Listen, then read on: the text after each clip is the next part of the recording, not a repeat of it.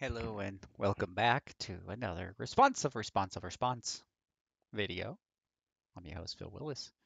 And uh, this is in response to the Stargate Atheism Reaction Part 2 video.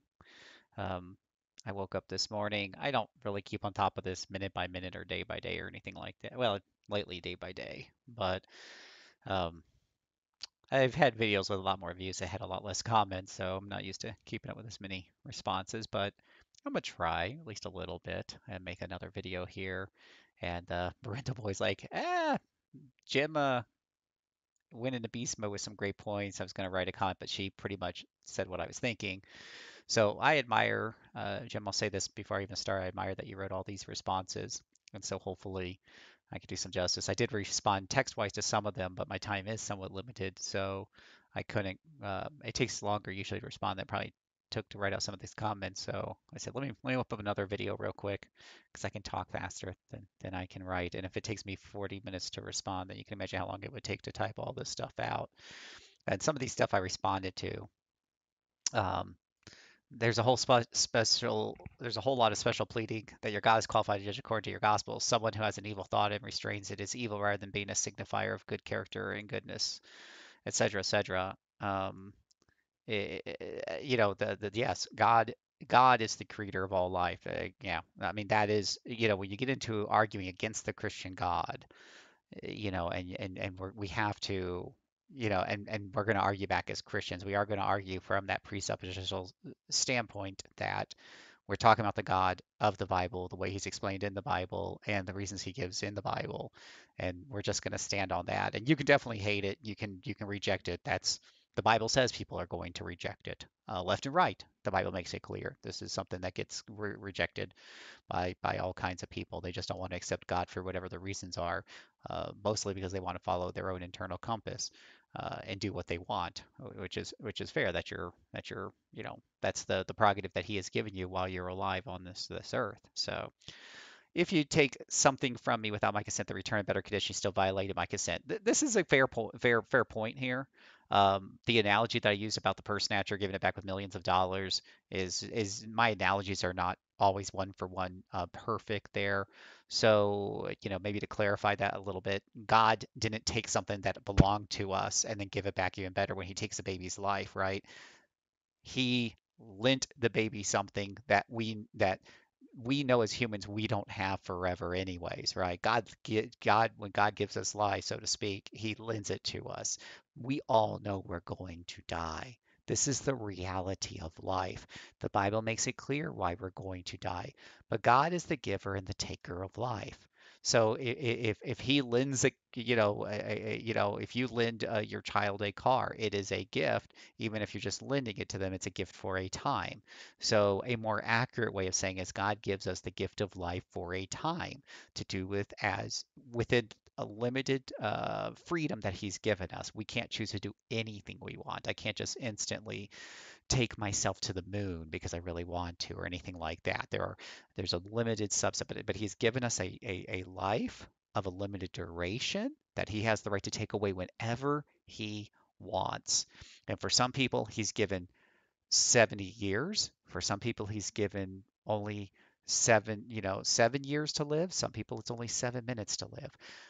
Blessed be the name of the Lord. He gave us something that we didn't even deserve to begin with. That's the way a Christian looks at it. So uh, when he takes away a life, you're right. The analogy of the purse snatcher is not a great one because it doesn't accurately reflect the the gift of life, such as it is, is a temporary gift that he has the right to claim back whenever he wants, because he's not giving us um, this you know eternal life here on earth. So it's a fair point, and and I hope I cleared that up a bit.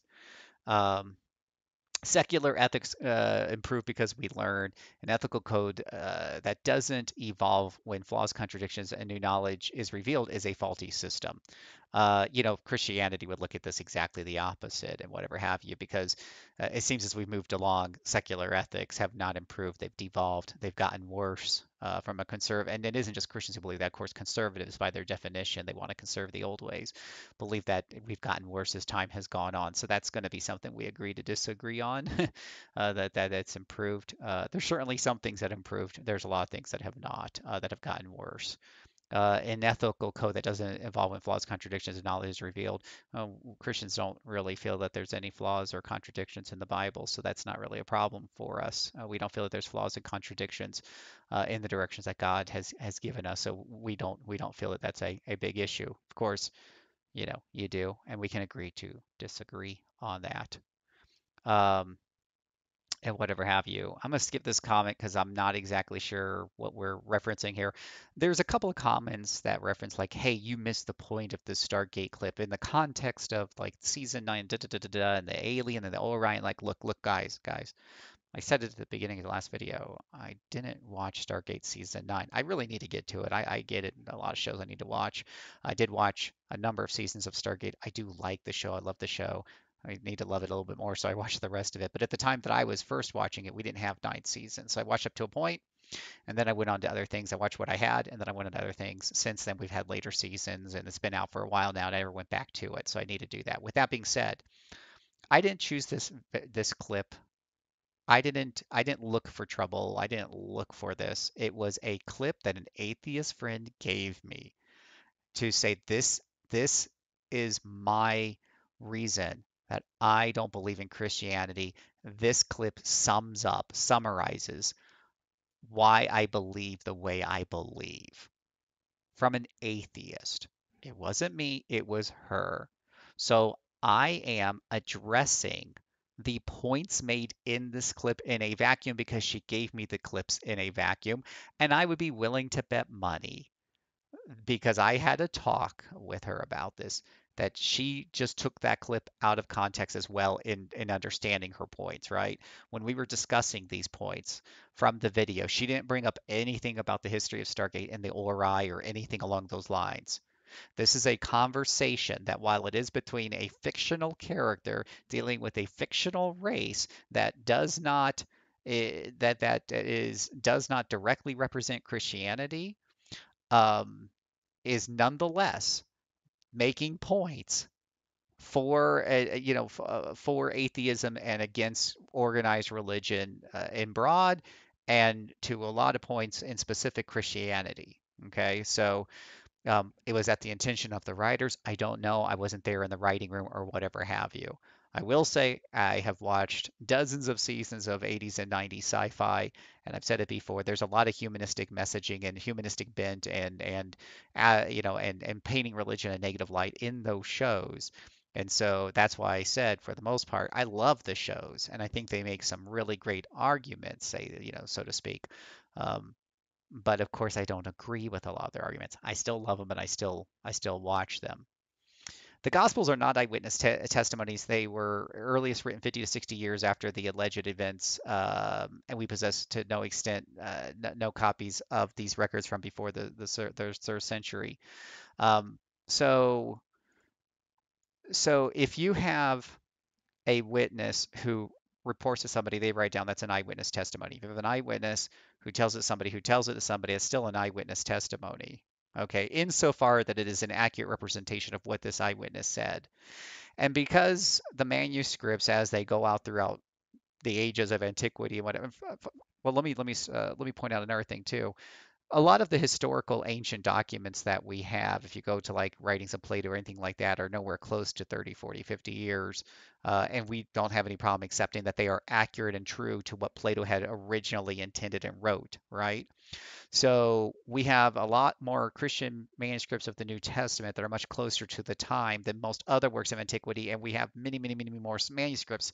And these manuscripts, you know, if you have copies of copies of copies, if you played the telephone game, usually these copies are going to have a lot of problems and flaws with the originals, and they're going to have differences with each other as the branches of the tree go up. And yet, when you compare all these manuscripts in Christianity and the New Testament, they're very, very, very, very similar. uh, and, and and and downright scary how close they are. So while that doesn't prove that the New Testament is true, what it does prove is that we can have we can have reliability in regards that these manuscripts are indeed an accurate representation of the testimony of those eyewitnesses. Now, you could say that they're liars, they were delusional. That's a whole nother rabbit hole to go down. But as far as the argument that the New Testament in particular, and even most of the Old Testament, is somehow a misrepresentation because over the years, as the Mormons would say, plain and precious truths have been lost, is is is is not true. Um, even if you sent Hitler to, to hell, there would come a day in infinite time where you are doing harm for the actions he did not commit. So the argument here, infinite punishment for a finite set of crimes is always infinitely unjust. Um, first of all, I've, I've said this a couple of times. I don't necessarily buy into the argument that it's infinite punishment. It just could just simply be infinite destruction, right? Because when the flesh passes away, the spirit lives on by the grace of God. He is the source of all life. When we say, I don't want to be with you, God, we are telling God we do not want to be with him. That means we don't want his blessings. His blessings do include light, warmth, uh, you know, happiness, whatever you want to call it. Uh, and and you think about life without God's blessings here on earth, that's pretty scary stuff. Um, I've just been in a dark, quiet room before. That can be scary enough without even any fire, flames torture me, or anything along those lines. That alone can give me a huge panic and an unhappiness and disturb me greatly. There was this one, uh, there's this one room in the middle of a desert that scientists have made that's completely soundproof and very, very like sound, sound no sound at all and you can't be in it for more than 40 minutes, I think, or 30 minutes or something like that without starting to go get vertigo and going crazy. It's just insane because it just swallows up all sound. And, and, and just even without the blessing of sound, we start to go crazy uh, and whatever have you.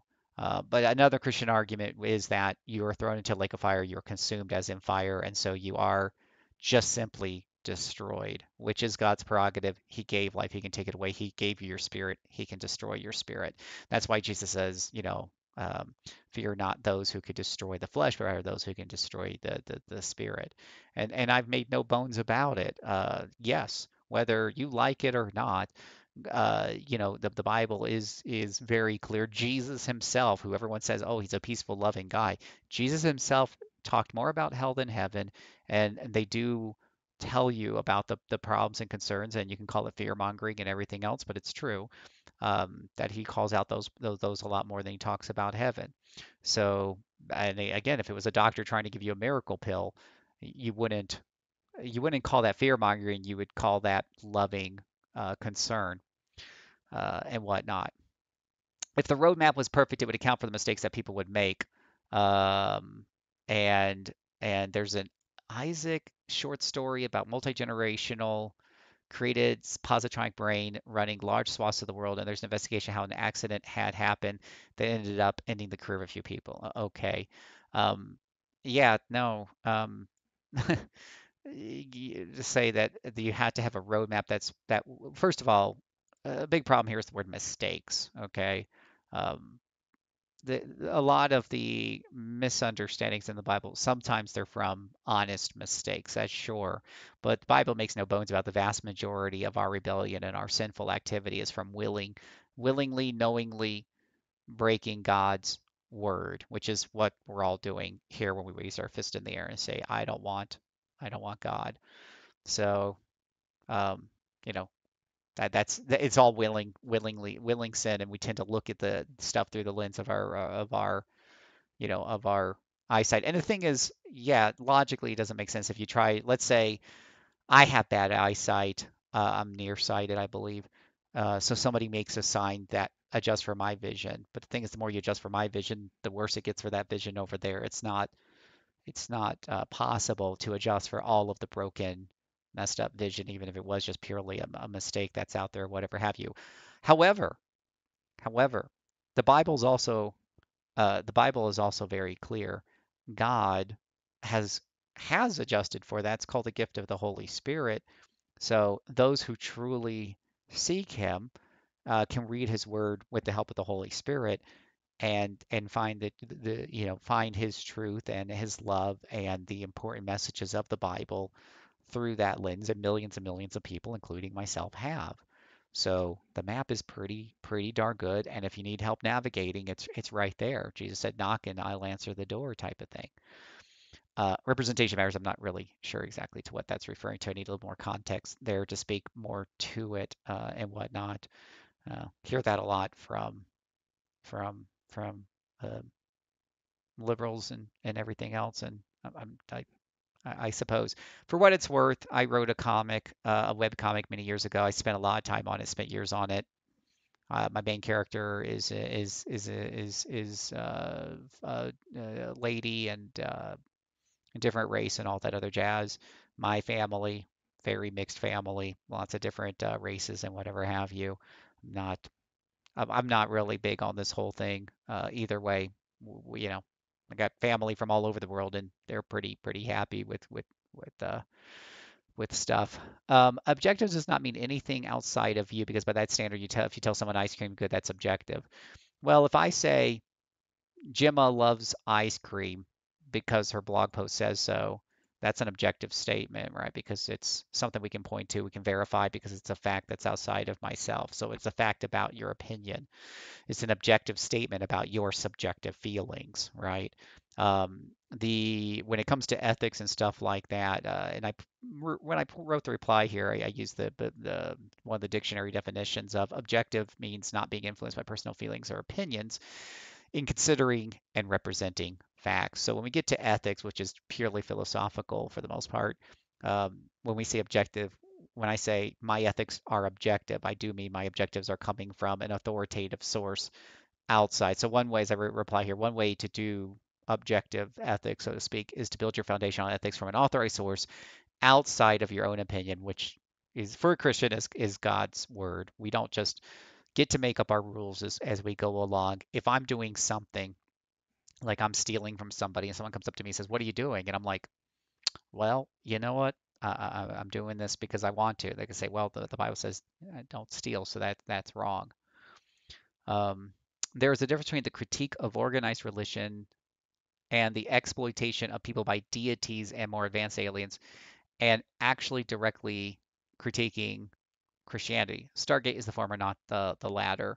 And I never stated otherwise, right? I I I, I never never stated that the Stargate clip was a direct confrontation and critique of Christianity. In fact, I'm pretty sure I've, I've said this at least a few times at this point that overall, most of the shows of that time period argue for humanism. Humanism is is pretty much the belief that humanity is going to solve all of its own problems in time. So the wars, the disease, the famine. Star Trek does this through its depiction of a utopian paradise just about that they've established by, you know, through proper leveraging of science. They must have the perfect politics to govern their own planets, et cetera, et cetera. They have very few internal problems, and those don't show up until much later shows. But uh, especially the early years of Star Trek and Star Trek: The Next Generation were very much like there's just very, very little um, wrong in the Federation, and they don't they don't even use money. They don't even have money for crying out loud, right? They've solved all of their own problems. They don't need money to address the scarcity of goods and services. So, uh, you know, go go figure that one out. Christianity, at least uh, the Nicene Christianity, spread at the point of Constantine's sword and continued with arrows, cannons, eventually guns, never really slowing down. The pre-Nicene Christians were also wiped out at the point of sword and fire and whatever have you. There, uh, I, I mentioned this in one of those response videos. There was many people who say they're Christian and then do bad things in the name of Christianity. Doesn't mean that they are Christian. The the basic tenets of Jesus, when Peter rose his sword up, he said, "Peter, put away your sword." Um, you know christianity even goes so far. God you know god says vengeance is mine saith the lord. When someone hurts you know your family you're to leave it to the government and god to to to to get true justice. Uh, you're not to go after that vengeance yourself. Uh, things like that christianity in its in its written form. And that's why i tend to evaluate when i evaluated islam when i evaluated all the other religions i go to their holy text. I don't judge them by their people who claim to be them because sometimes those people are just using people want to do evil things. This is a reality of life. People want to do everything, and and they will use whatever excuse they want to to do that, right? There were millions killed in the name of atheism, and and and there's millions killed in the name of government civility, right? And and and needing to keep the government. Eh, people will kill for whatever reason. It doesn't mean that that's an accurate representation of atheistic ethics. It doesn't mean that those people represent Islam super well or any of those others. You have to look at their writings and say, does the writing tell, does their holy teachings tell them to go out and kill people who don't agree with them and stuff like that? Christianity does does just the opposite.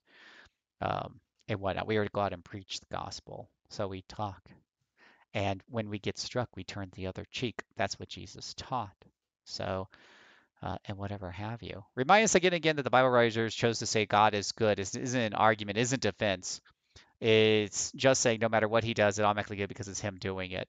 Uh, I've given out some other reasons. This isn't the only reason. It is, uh, you know, a Christian, uh, a Christian such as myself. I'm going to argue from the Bible standpoint when it comes to uh, defending God and His nature and everything like that. Yes, I'm going to argue from a biblical standpoint. Uh, in order to argue about God, you have to presuppose God exists, right? And and in doing that, I'm going to use the God of the Bible. I'm going to use the Bible and what it says about His characteristics and everything else. I've also given some other logical arguments. The one who loaned you life has the right to call it back whenever he wants, for example. That seems very reasonable. Um, and whatever have you. God never promised you 70 peaceful years on earth when he gave you life. So he does have the right to call it back in whichever manner he sees fit whenever he wants. Um, that is the that is the right of the creator. Uh, that is not just what the Bible says. I think that's also pretty darn logical. I know from a very humany standpoint, uh, we try to use the analogy of the the the parent who had the child doesn't have the right to take away the child's life whenever they want, so God doesn't have the right to do the same to us. But human parents, uh, you know, who who carry around a child for nine months isn't the same as God. So uh, God is the one who truly makes your spirit. He's the one who is um, not only uh, able to to make those decisions because He gave us life with uh, um, you know with the with the you know with the with the conditions and everything that are mentioned over and over again in the Bible. But he's also the one true and holy judge because he's the one person that can look into man's heart and truly judge them based on the condition of their heart. Because if if let's say you want to truly murder people and the only thing keeping you from murdering people is the fact that you are tied up in chains or the fact that you know the government will throw you in prison, that's the only thing holding you back. And you hate God and you hate your fellow man, the only thing holding you back is the fact that there is a punishment hanging over your head. Well, you're not going to go to heaven. We don't probably want you in heaven. Especially once you find out there are no consequences because God's not supposed to hold anybody accountable you're going to start murdering people, right? So, uh, you know, there's a number of other reasons I've, I've, given. And of course, you can, a quick Googling will find you even more reasons, written by more elegant and well thought out Christians than myself, because I've also never claimed to be at all to be the most well thought out. Uh, the nerve structures linked in the brain, don't, uh, we're talking about uh, unborn children here, don't exist before the 29th week. Um, I will point out that that's that's not what WebMD says.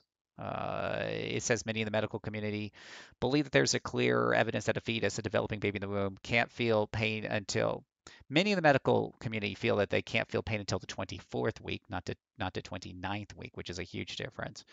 Um, but other scientists say it's possible for the fetus to feel pain as early as 12 weeks, and whatever have you. Um, and most of the disagreement centers on whether or not certain parts of the brain nervous system must be fully developed before the fetus can feel pain. So I just want to, I, I, just want to, can a feel, can a fetus that doesn't have conscious awareness yet really experience it? There are no easy answers, but the debate has implications. So I want to point out a couple things here. First of all, when I said what I said, I wasn't trying to misrepresent anything about science because, again, this is from WebMD. I'm pretty sure that's not a Christian organization. Uh, and there is a lot of debate about this in the community. So I was taking my information from what I had read from other sources. Number one, so I wasn't trying to intentionally deceive anybody. Uh, but number two, Here's the thing scientists disagree, period. Where exactly does life begin? Scientists disagree because you can't prove it. It's a philosophical argument. Does it begin in zero days, three weeks, five weeks, 10 weeks, 20 weeks, whatever have you? It's a scientific uh, it's it's it you, you don't, it's a philosophical argument, and you can't science something that's purely philosophical is lying wrong. You can't test that in a beaker. You can't do the scientific method on that. So when exactly does life begin? That's why scientists are divided on this. And generally speaking, when we don't know in any other part of life, we err on the side of life. So for example, when you're destroying a building, you're getting a permit from the government to destroy a building, and you're about to go and destroy it. You have a legal obligation to do a full survey of that building, no matter how long it's been emptied, to make sure there's nobody in there because sometimes somebody will sneak in there and move in. You have to do that. If you don't do that, then you can be found guilty for not doing the proper process and procedure because you have to presume there's life in there whenever there's any doubt. You have to do the proper procedure. If you, heaven forbid, you kill somebody, you'll be charged for manslaughter because the judge is going to say, in a in a place where there is any doubt at all that life does or doesn't exist, it's your responsibility as the one committing the action to make sure there's no life in that building before you clear it out. So now you're guilty, not of outright bloody murder, but you are guilty of something called, you know, manslaughter. There's even involuntary manslaughter, I think, but you're at least guilty of manslaughter. So you, you should have done your due process before you cleared out that, you know, before you cleared out that building and stuff like that. Um, you know, uh, sometimes use the analogy of the the child who likes to hide in the hay in the farm, and one day his his his father goes out and he doesn't see Jimmy. He needs to pitchfork that hay. Does he have a re- moral responsibility knowing that his his son might be hiding in hay to check before he starts going poke poke poke? Probably. So in the case where we don't know, and you know what, you don't you don't have to take you don't have to take my word um, for this uh, in terms of we don't know or don't know. You know, uh, one one person who emphatically said this is above my pay grade when it was asked when does life begin. One person who's very very famous on the liberal side uh, said it's above my pay grade. It was President Barack Obama. If you don't know, which he doesn't know, you err on the side of life until you know for a fact. Um, the doctor analogy that I used about, you know, the doctor knows that this is that this is a pill that can save lives is proved and tested. Christianity is not by design.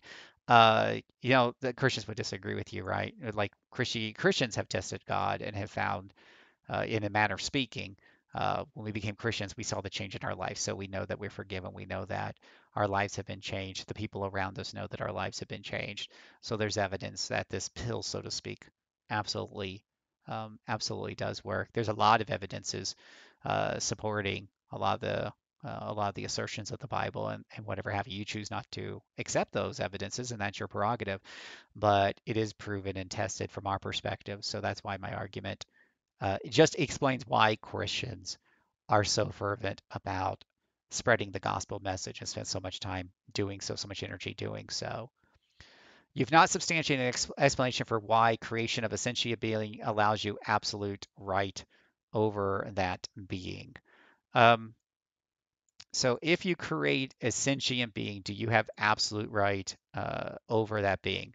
Uh, that is an ethical, you know, an ethics question. The Bible says yes. I will say yes. You say no. So we can agree to disagree on that. I don't think there's um, uh, you know the Bible uh, the Bible gives some harsh language here in terms of using a you know a potter who creates a bunch of different pots and some of them are for ceremonial uses and some of them are, are made for destruction to be melted down again or used for other purposes that are less than honorable. Um, people used to use pots for bathrooms, for example. Uh, that's the that's what the Bible says. God has that right over our lives, and who are we to question Him? I know that's hard for a modern person who thinks they are all of that to to accept. But God is God and I am not. I can never see a part of the picture that he's painting. I don't have his perspective. I use a little Steven Curtis Chapman there. Um, You can look up that song. But the the the the the the the, the explanation and if it was just if it was just somebody who was a finite creator creating a sentient being, I would agree with you, Gemma. The thing is, God has other qualifications. He's omnipotent, omnipresent. He can see our hearts. He can see inside of us. And that's why he has absolute rights over, and he's perfectly holy and just. It's all of these reasons why he is in, he is righteous and able and everything else to, to, to perfectly judge us, uh, uh, you know, objectively and everything else because he is, he is, um, he has all the qualifications that no human being could even come close to having, even if that human being somehow created a sentient life like Frankenstein. That's the kind of argument that would justify creating a slave race and claiming you've created them. They have no right to their own existence choices in life. Uh, we don't really technically have choices. We don't have our own rights. We have no rights aside from what is given to us. America was founded on the idea that we have God given rights. Those are rights that God has given to us. That's why we call them God given rights. Without God, we don't have any rights aside from whatever government prescribes to us or whatever it may be. And even those rights can be taken away from the government on a whim because they're not. That's why Americans' rights to free speech and things like that are you know a bit more protected because our original documents refer to these god-given truths these god-given rights. We're appealing to a higher authority than any government. When it's just based on the government the government can change its mind and take those rights away and they're ethically able to do so because they are the highest authority you know so to speak uh, and whatnot. So uh, there you go. But but in his you know in his in in God's wisdom, He gave us a limited a limited window of time in our life down here on Earth to make our own choices. So we're not just robots and automatons with a gun held to our head. He put enough in this world as reasonable to believe in Him, but left enough out to where um, you don't you, you know that that that you can also not believe Him and have that be um, you know and, and, and have that choice. So there you go. Um, you are deciding what is good and bad based on your interpretation of a chosen holy book. Uh, yeah, and that, that, that is that is true, but it's also the interpretation many other people have. We have back pain because our entire physical frame still suffers from limited limited evolutionary adaptations to being upright. Well, there you go. Uh, that that, there there. Well, however you want to frame it. Uh, I, I'm not against evolution uh, myself. I wasn't here when the world began. Uh, scientists, Christian scientists, used Christian or uh, used science to understand God better. They figured if they could understand the processes and procedures and the exact steps of how babies are born or how plants survive and things like that, and biology, and figure out the laws of physics and stuff, they would understand the, the mind of God even better. So we, um, I have no problem with um, with with with with with with science. And if it turns out for a fact that we were evolved, uh, that's fine. God used evolution. He's the one who invented evolution, et cetera, et cetera. I wasn't there, so I know most Christians would argue with me of that. They believe totally in creationism like that. I think either way can can be God. So uh, let's see. I'll be right back. And I'm back. If your God is incapable of conveying the reasoning for acting in a blatant monstrous way, then that's another power that you think your God lacks. No, God gives reasoning. You just choose not to accept it. It's there. He's actually quite capable, and he has done so. The Jesus described in your Gospels is pretty unambiguously explicit. You are not allowed to engage in violence, even in matters of self defense.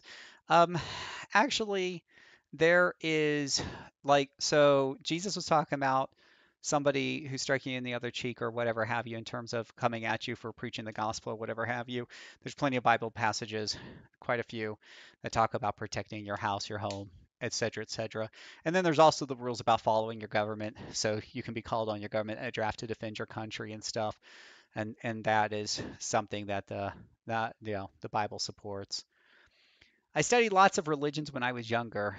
And and by the way, you can Google. I, I can't go into super detail on any one of these points because then uh, the video will go on past an hour, and and videos that last an hour are already too long. So according to Google, and according to y'all. So uh, if you want me to pick one particular topic out and do a, a long show on it, I can certainly try to do that. But there's plenty of, of Christian websites I can go into that you can easily Google up that go into more details um, on any of these. But the but the quick answer is that yes, you you are commanded by the Bible uh, to go ahead and do self-defense and all that other jazz.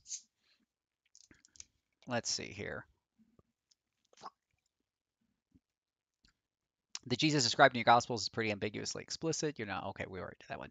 I studied lots of religions when I younger, and then reels of a basic apologetic spiel about other religion.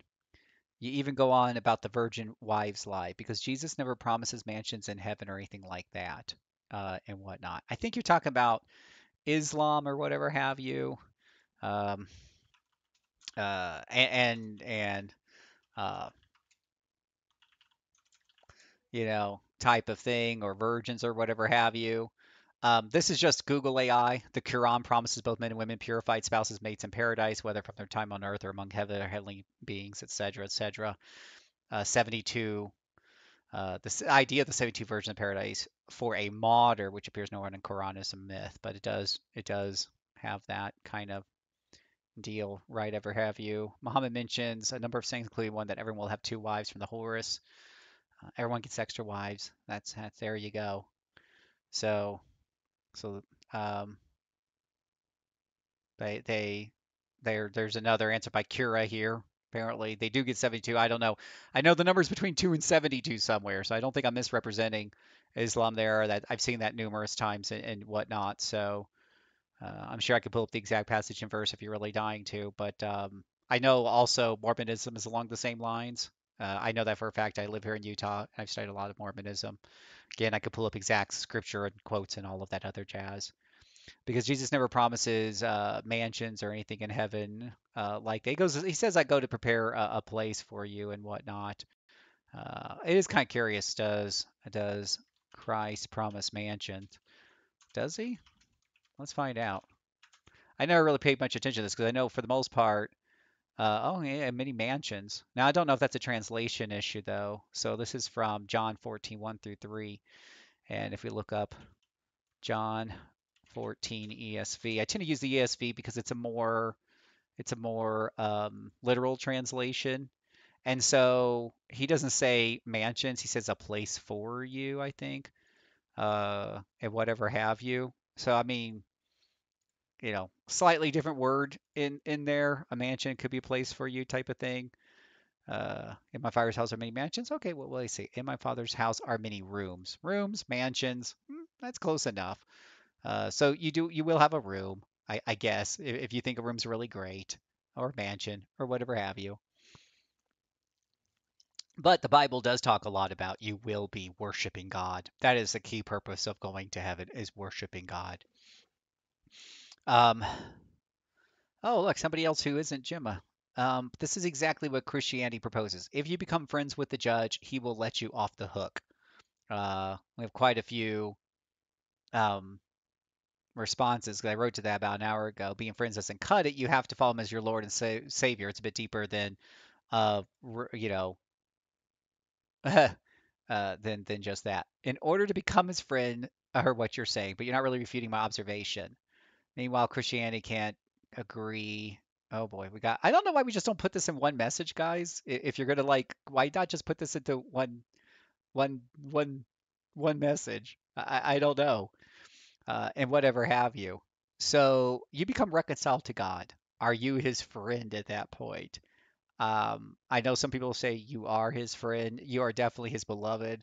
Uh, God, you know, Jesus refers to the church as his beloved bride and things like that. So, you know, you you are um, his beloved, uh, if nothing else. Friend is kind of a loosey goosey term. I don't know if it really applies. The Bible, I don't like to use the word Bible doesn't use. It doesn't use the word friend.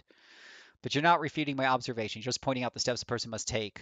Uh, meanwhile, the Christians can't agree on things like such as sin of verb, what counts as a sin, are we born scheduled for hell, and some other things we can't agree on. I've said this before. I've made no bones about it. There's 40,000 d- different denominations, or whatever the number is. A thousand to 40,000 is probably a number in there somewhere, and I don't think it matters much if it's a thousand or 40,000. I don't think there's a lot of difference. The whole point is there's a bunch of denominations and whatever have you, because Christians do disagree.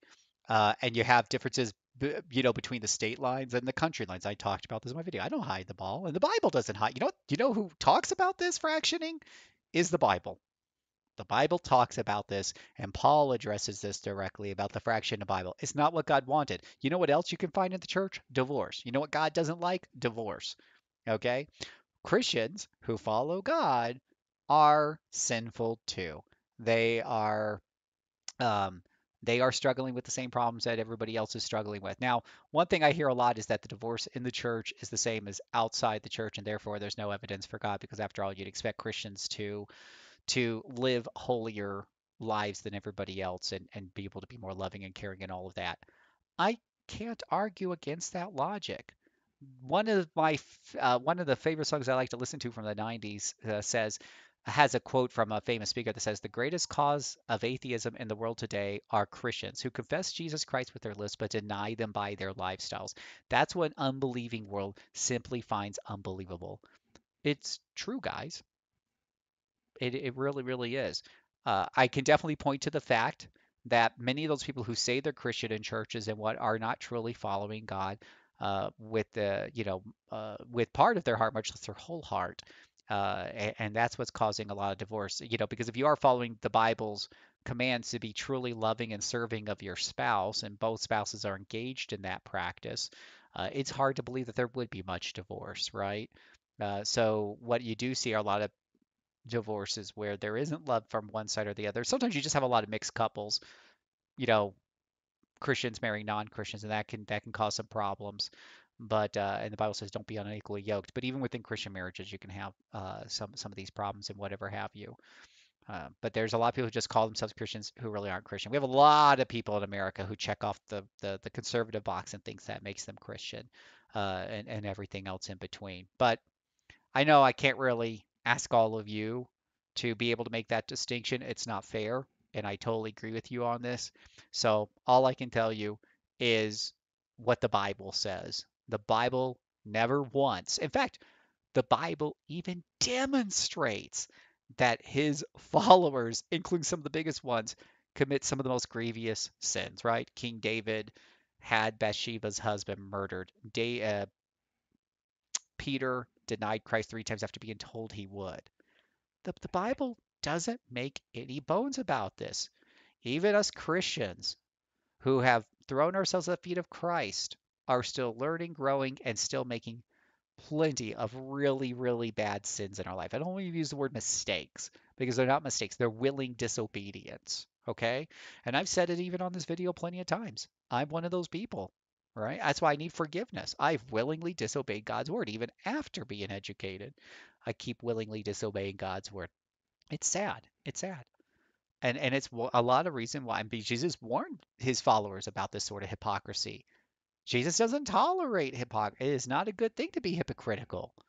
So we have to be very humble, very careful as Christians. And when you see a Christian who isn't humble, when you see a Christian who's like, I don't sin, when you see like the Pharisees and they're going around telling other people what to do all the time, but they themselves aren't living it out and, and, and stuff like that, that's Jesus called it out. I don't know what else, you know, uh, he could do about that, but that's, you know, aside from turning them into robots, but it is something that is addressed in the Bible very directly. This is not a surprise. They're not hiding the ball, boys and girls.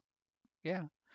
Uh, my original point still cha- change effectively and challenged because your points in making this video, which the point I was making to reply is this. Let's to another. No, a person can evade accountability for literally any crime against you by merely starting to believe that someone named Jesus died as a ransom atonement for the sins, and then they simply offer in their atonement. Yes. In terms of in terms of will you if it okay you're you're not 100% correct on this uh, persona non grata. What the bible says and we see a great example in paul. Paul had a lot of people killed. Did he evade any and all accountability for his sins? Negator. Negator. So the holy spirit came to him he fell on his face he became a christian. His eternal punishment has been suspended right but then he had to serve the rest of for you know, and and, and the, the angel or whoever that spoke to him said, "You are now going to live a very rough life spreading the gospel message." You know, and and part of that was definitely uh, strongly implied it was because of his life as a sinful, you know, murderer uh, of God's children, of the Hebrews, uh, and whatever have you. Just because just because God is suspending or, or taking away or whatever the eternal punishment or destruction, depending on how you look at it, does not mean you're awake totally scot free. Number one, there there could still be punishment from God here on earth and what happens for the rest of your life. Number two, uh, the, the Bible makes it very clear there are governments in place for a reason to to help uh, limit the evil and whatever have you, and and you have the right. Uh, you they, the government has the right to come after you for those sin, those, those, any sins that you commit that are crimes, and indeed you have a responsibility um, to follow up on that. Number three, you have to be truly repentant. Being truly repentant generally means, as part of that repentance, going back and trying to make up to those people that you've hurt when you repent to your wife because you've done something really bad to her, like you, you've cheated on her, you can't you can't possibly make all of that up 100%. But if you truly are sorry, you're going to do your darndest to make it up to her. You're going to go in above and beyond to to try to make it up to her. Buying flowers just ain't going to be enough. That's just the, the very first tiny step, right? I mean, heck, if I leave the toilet seat up, I probably have to buy my wife flowers as a sign of repentance just for leaving the toilet seat up. You know, these are repentance comes with its own cost as well in terms of truly being repentant. You're going to want to truly seek and to, to restore those people that you've hurt if you're truly repentant. And again, you can't fool God. You can't play a game. He can read your heart. You can't just go, hee, I'm going to commit all these murders. I'm going to get away with all my stuff. And then at the last minute of my life, I'm going to say, please forgive me, God. It's going to work out. You can't, you can't play the game. It won't work with him. That's why he's why he's the perfect judge. You can fool earthly judges very much with promises that you never intend to keep. Oh, you, you promise to be on your best behavior from now Yes, sir, sir. Okay, I guess I'll suspend your sentence this time, but don't do it again. In your heart, you're really like, oh, yeah, as soon as I get out of here, I'm going to keep doing it. No punishment about, uh, about the actual person. Now, the other thing we don't talk about is, you know, as far as what happens in heaven, there are there are there are treasures and punishments outside of eternal life and eternal death right? Um, we talk about laying down crowns at jesus feet. We talk about positions in heaven those who are going to rule over others and stuff like that. If you live a life full of sin and you do have an honest repentance towards the end of your life you're not going to be in the same position uh, you know in heaven and have those treasures and stuff that somebody else is going to have who led a life for god. Of course that in revelations we talk about laying all those treasures at jesus feet. So if you if you don't want to lay treasures at Jesus' feet, you don't want to worship Jesus Christ, heaven's a horrible deal. They won't have to work to become a good enough person, a person who is no longer in the nature. Well, let's see here. They won't even have to work to become a good enough person, a person who is no longer in the nature of to do serious evils. They just have to believe in, or at least assign themselves to the ideal that someone else prepaid more moral debt. But I don't like this believe it. It's a faith. You have to have faith because Satan believes that that Christ exists and that he died for for the the sins of man, but Christ eh, or but Satan isn't saved, right? Because he doesn't put his faith in Jesus Christ and he doesn't repent of his sin. You have to truly repent of your sin and you have to truly put your faith fully into Christ, it's much better. It's much deeper than believing in. And I, I talked at length at the difference between believing in faith and what it means to have faith and blind faith versus a Christian faith and all that other jazz. And and I've done a big old video on that. So you you know in one of those other responses or in the original video, so you can go and check that out. In other words, the Christian offers for anyone to evade all accountability for everything horrible they'll ever do, as in as in future uh, future tense and whatever have you. Again, like if you're if you are coming to God, you know, with this evil intention of totally doing all the evil, horrible things in the future that you really wanted to do because you think you're off the hook, God's going to see right through that and that won't be honored and whatnot. Now, is a Christian who truly loves God off the hook for, you know, who, who truly has repented but then later on commits an evil act, still saved. Well, the, yeah, yeah, you're right. If that's what you're arguing, persona non grata, because we see that in King David. King David was extremely faithful. As young David, he was extremely faithful. He slayed Goliath because he had such faith in Christ. He slayed he slayed Goliath, and then uh, but later on he had Bathsheba's husband killed. Now, God punished him for being stupid as an ape. He did. He didn't punish him eternally his eternal soul wasn't in jeopardy. So from that perspective that you're pointing out, he was all, you know, forgiven for that. But he did punish him here on earth. And David's faith was strong, right? Because he had his faith purely in God. So David immediately repented.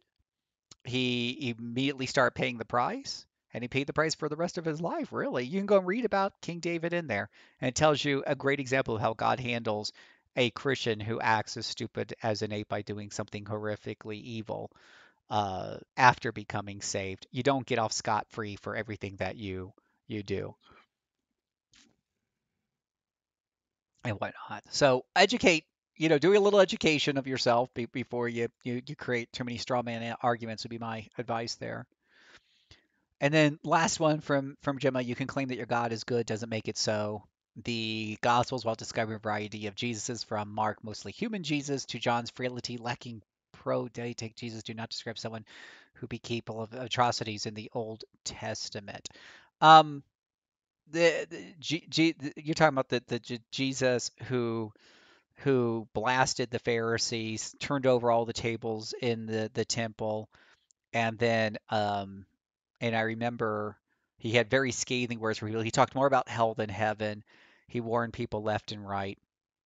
And then immediately after he was taken to heaven and the apostles that he had taught directly were establishing the church, I forget their names, but there was two people in the book of Acts. It's really right after the the, the second coming of Christ, and they lied about the money that they made from selling their land that they were donating to the church. They're like, look at all this money we made. We're giving it to the church.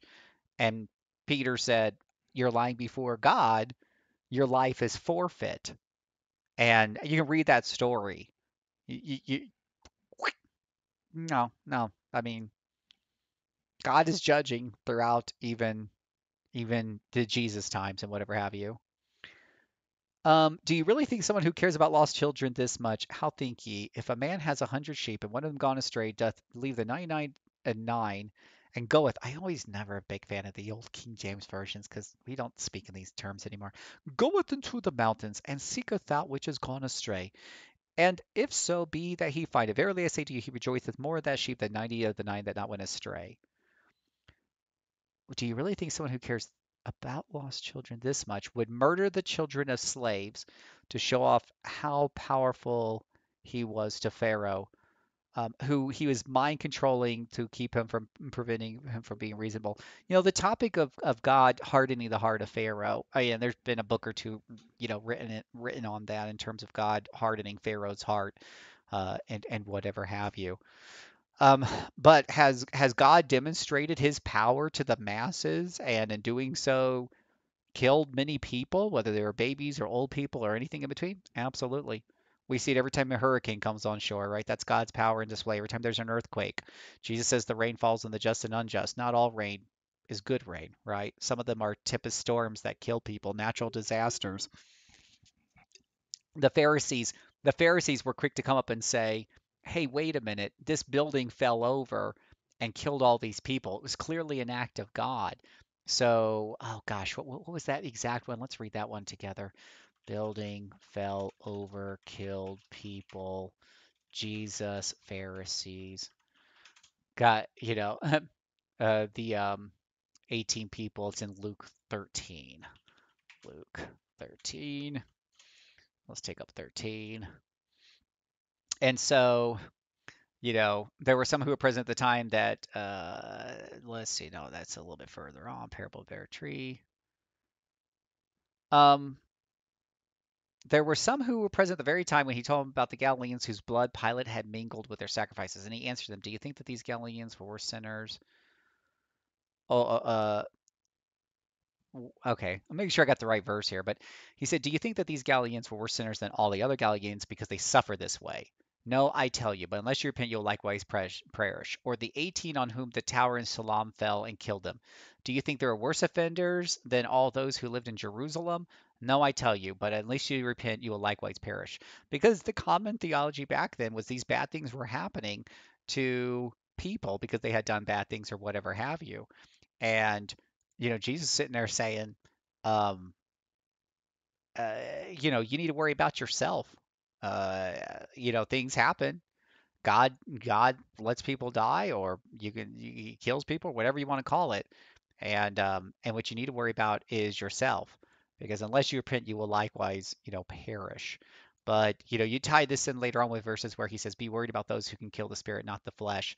The fleshly death is is not the the highest pinnacle of of judgment or righteousness or evilness or whatever have you.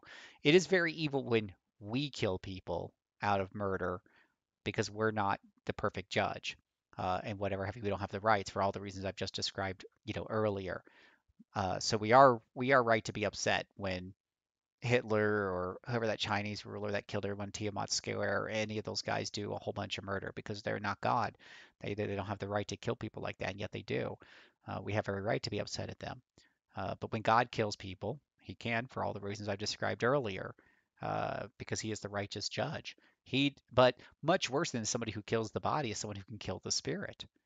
Uh, that's a much worse death because you know your spirit is theoretically e- eternal, and um, and, and so that's what you should be more concerned about. And and for that, you don't have to worry about people getting away with that. That's only God. Don't be worried about those people who can kill the body. Christians shouldn't be worried about people who can kill the body. They should be worried about the eternal judgment because only God can can decide what happens with your soul. Anyways, I do have to get running. Uh, I think we are pushing close to an hour on this. Uh, Gemma, thank you so much for taking all the time to write this out. Uh, would be nice maybe if some of these were just one long post rather than a whole bunch of little posts, but for the most part, I appreciate you um, taking the time out. Uh, Gemma, damn, Gemma went on beast mode. Well, I just responded to everything. Does that mean I went into super beast mode or responsive beast mode? Uh, I, I don't, I don't know. Um, but yeah, I appreciate you guys taking the time. Again, I, I probably won't keep responding and doing all these videos because uh, they are uh, a little bit on the time consuming side and it keeps me from doing other things like playing video games. And that's so important, playing those video games. But no, I, I do have other things I need to get done. Uh, but you are welcome. Again, I welcome all of you who are so passionate about this.